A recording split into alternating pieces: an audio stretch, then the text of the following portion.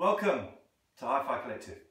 Today we are going to be changing the Alps Blue pot on this Kel 84 which is a, a World Audio design kit and you can see here we've got the Alps Blue. Alps Blues very popular, very kind of reasonable cost pot so we're going to change it to one of these which is the Glasshouse steps attenuator two channel using PRP resistors as the shunt and then Takman 1 watts for the series.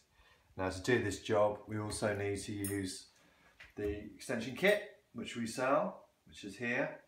Tools for the job, you've got Allen keys, you've got a reamer because you're going to have to open the front hole on the front panel, cutters, pliers, spanner, desolder pump, solder and iron. So first part of the job is to get access to the Alps. So take, take the knob off. Loosen up the nut on the front. You have to be careful here, you're not going to scratch up the the anodized front panel. That's pretty easy. I'm using these, but you might be better off with more substantial pliers.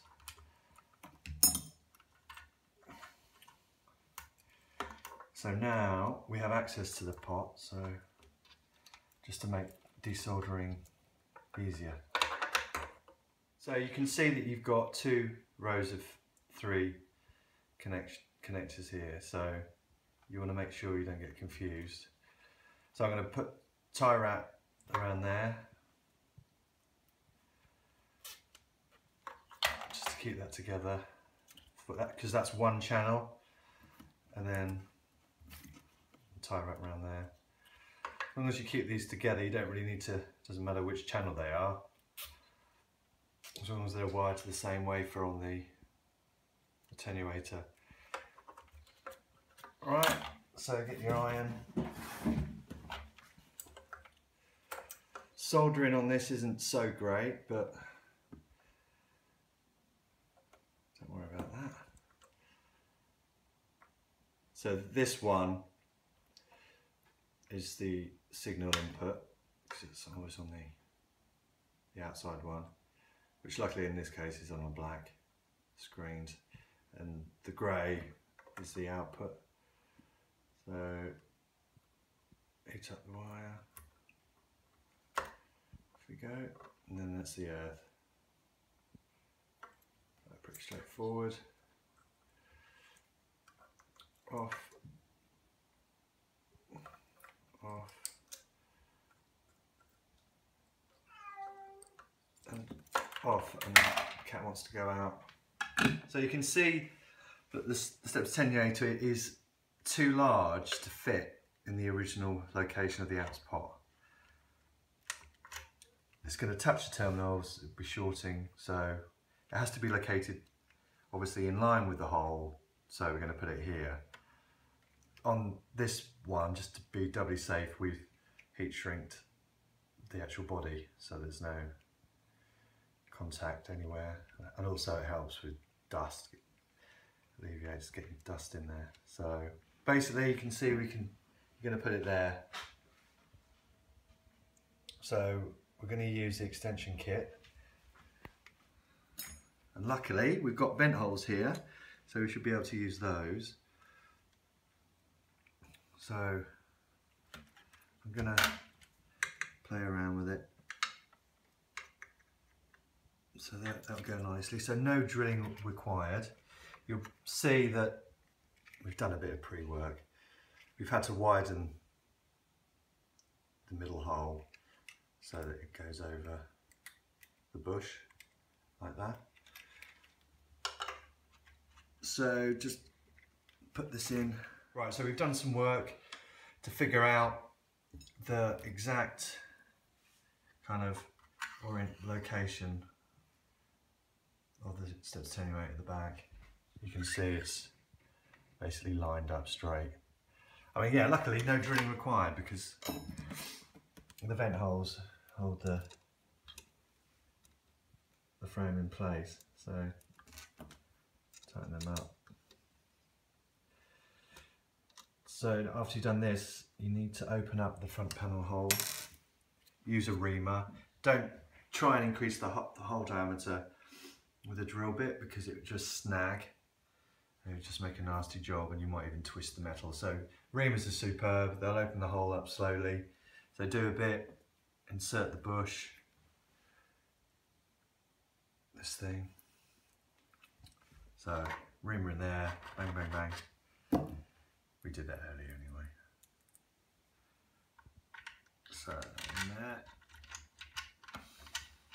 So the internal diameter uh, this is, is six mil. So the aluminium rod fits snugly in there. So I'm gonna have to get the pliers on that.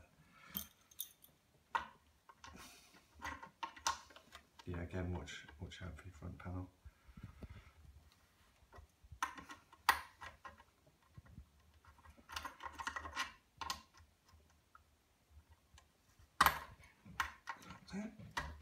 Cool. Alright. You're going to have to cut the rod down. So you can see there's a bit of give anyway in, in the frame. So if you need to bend it a bit, you can. So there it is, like this. You need to mark for a cut about there. Okay, so we've cut our rod shorter. So put that through. Here's your the coupler. Put that on there. You might have to loosen off a bit. So just put the rod through the hole. You have to loosen off the grub screws.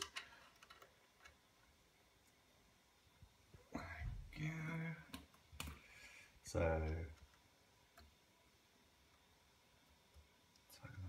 Don't tighten them up all the way because you you want kind of equal pressures coming from all four grub screws.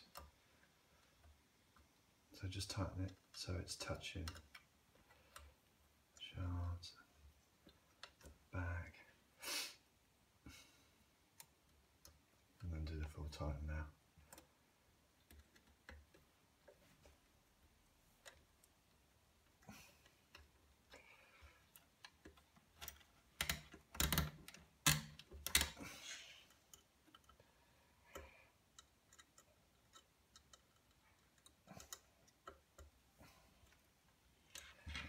Cool, put the knob on.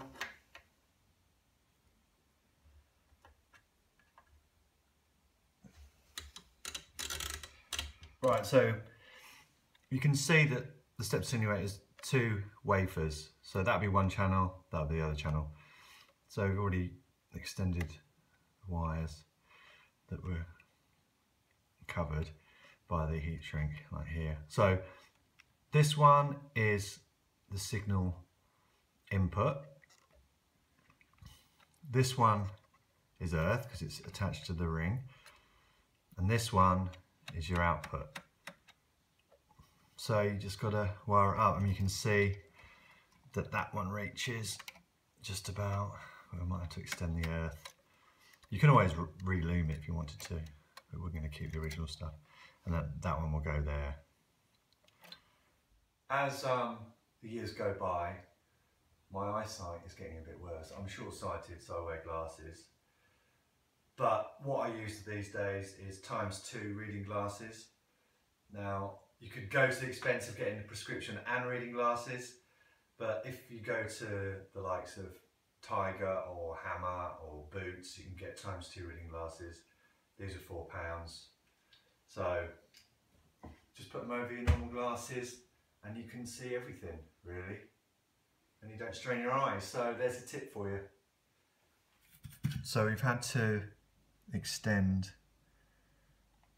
the piece of screened wire that feeds from the input of the board here because it was too short. So we're going to do the same to the other side so the wires are similar. So you can see this is the signal output going to the input of the board. That's a new bit of wire. You've got your earth there and you've got a signal input from all your the selector switch.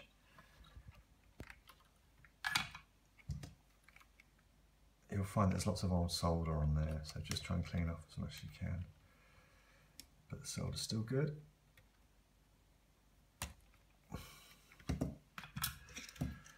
So that's one channel done. This used to be the earth loop that went on the body, but you don't need to worry about that because it will be earthed here. So we'll cut that short. Try and keep the wires together like this. Use tie wraps. I won't do that yet until I've done the other channel. So that's one channel done. Obviously make sure the wires aren't touching. So just to do a check that the step's working well, basically connect, put your meter on DC resistance, connect to the output, signal output of the step and the earth. And as you turn it up, you can see the resistance increases. So go through all the way to the end. You're to have to move scales, ranges, up, up, oops, up, up, up, up, up. So do the same to the other channel. And we're ready to go. We have wired in the new step attenuator. One channel here, the other channel here. So we're ready to rock and roll. We'll put all the links for what you need to get to do it. But let's go and have a listen.